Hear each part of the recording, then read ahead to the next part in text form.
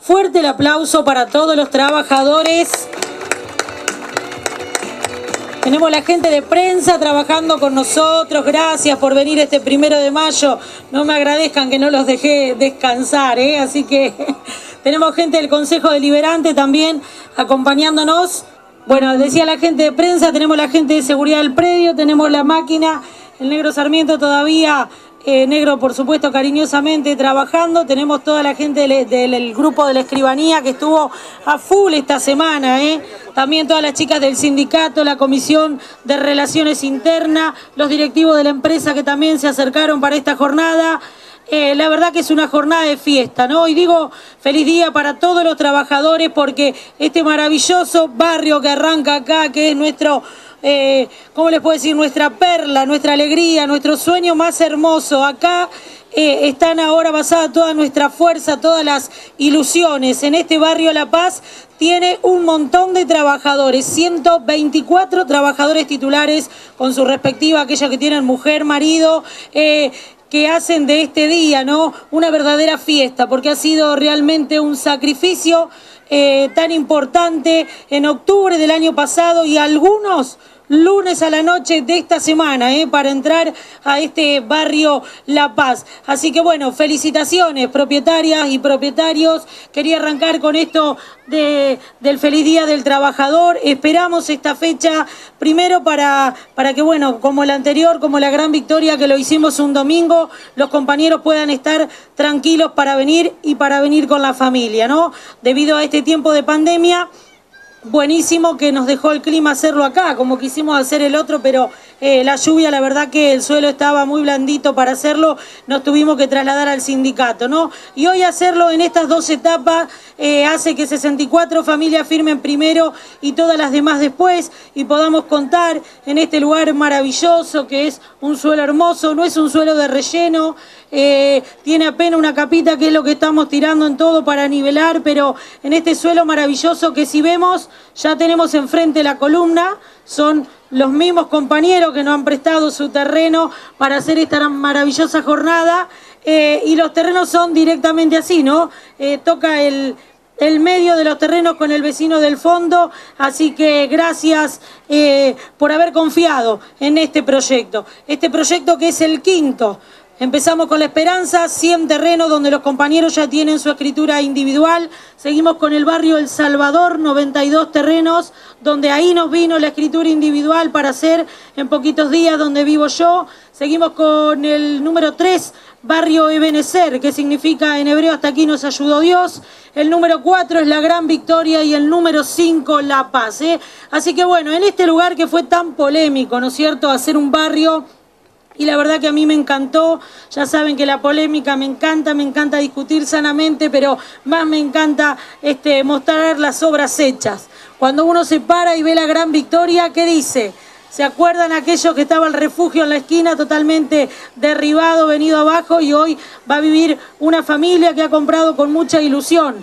Los compañeros eh, de fábrica eh, han contado con el adelanto que nos dio la empresa, ya falta poquito para que se termine el descuento de los 120 mil y lo otro ha sido toda fuerza de sacrificio, de horas extra, de ahorro, han vendido autos, motos, eh, familiares ayudando. Así que esto es de todos nosotros, de los trabajadores para los trabajadores, porque trabajamos hasta las 12, una de la mañana creo, para poder habilitar la Avenida de Mayo. Y fueron nuestros compañeros trabajadores los que nos estuvieron dando una mano, una mano incansable, porque es con amor, porque más allá de que cada cual tenga su empresa, acá nunca se trabajan ocho horas por día, ¿no es cierto? Estamos trabajando muchísimas horas para demostrar esto, demostrar que se puede, que se puede cambiar un lugar, que se pueden hacer las cosas bien.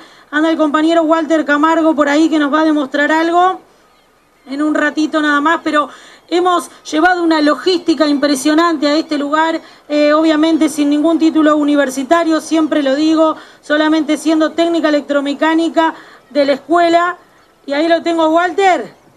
Hemos traído el agua potable. Fuerte el aplauso. Esto es plata de todos ustedes, trabajadores y trabajadoras. ¿eh? Ahí lo tengo, mientras me riega la calle, compañero Walter, que demuestro con este caño grande que tengo acá a la izquierda, algo tan sencillo, el agua potable, la donación del pozo número 27 en el camino a GAN.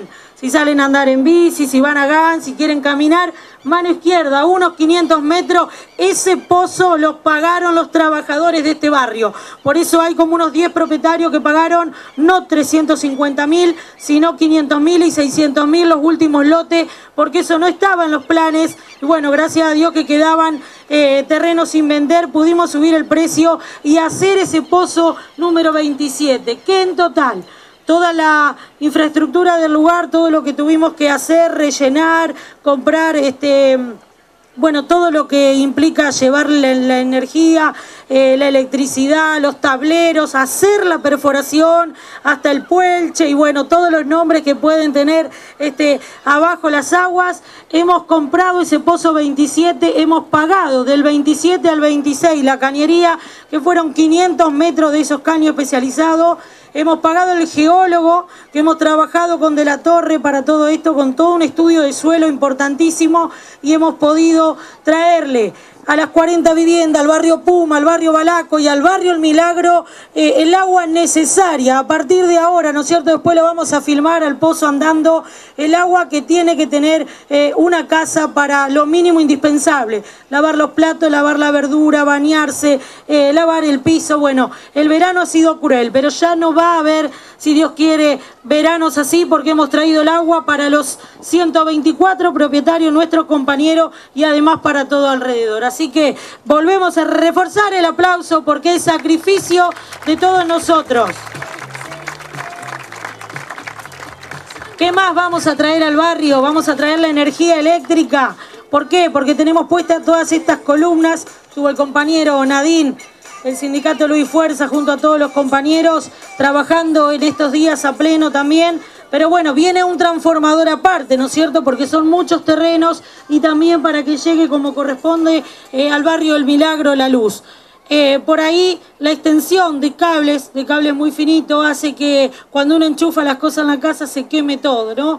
Así que bueno, también había una problemática de blanquear muchas cosas en cuanto eh, a la luz eléctrica. Bueno, si Dios quiere hay un compromiso de los vecinos más el nuestro de traer la obra, de que va a llegar bien la energía, que no nos va a pasar esto que nos pasó hace un ratito, que se nos cortó el, sonido, porque bueno, ahora estamos agarrando eh, del barrio Balaco la luz, ¿no es cierto? Hasta que tengamos nuestro transformador.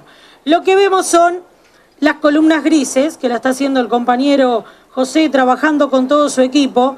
Estas columnas es la primera vez que le agregamos este, en los barrios y hace que, que los compañeros cuando quieran empezar a edificar tengan algo más sencilla la situación, ¿no? Porque van a la cooperativa, llevan la escritura, marcan el plano, le explican cómo es, salen comprando una cajita que es la caja de obra, que a lo mejor es cara, después hacen su propio pilar. Para evitar todo eso, ya pusimos las columnas. Y después mi hija Victoria le va a entregar al final de la firma de la escritura esa bolsita. En esa bolsita ustedes van a tener lo que va dentro del pilar para poner y van a tener el caño blanco que también va dentro del pilar.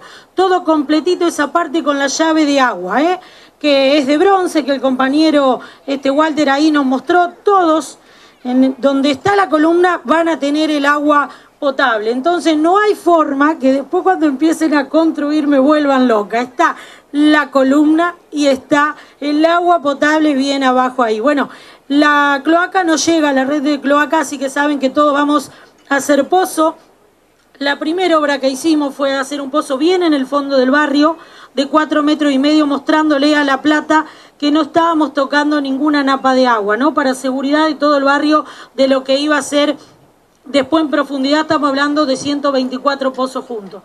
A futuro hay muchas eh, expectativas con respecto eh, a lo que va a ser agua sanitaria, a lo que va a ser la planta cloacal, así que por ahí todo eso, la planta depuradora se mejora y algún día no llega. Pero mientras tanto, tenemos eh, que decirles que va a ir el pozo y algo muy lindo que les voy a decir, los compañeros ya están pagando el asfalto de Avenida de Mayo, que refiere a toda esta parte del barrio La Paz, están pagando los vecinos que estamos parados acá y los vecinos del interior de la Gran Victoria están pagando el asfalto. Entonces, muy pronto esta cuadra que mide 193 metros casi de largo y las dos que le siguen antes de la Eva Perón también van a contar con el asfalto.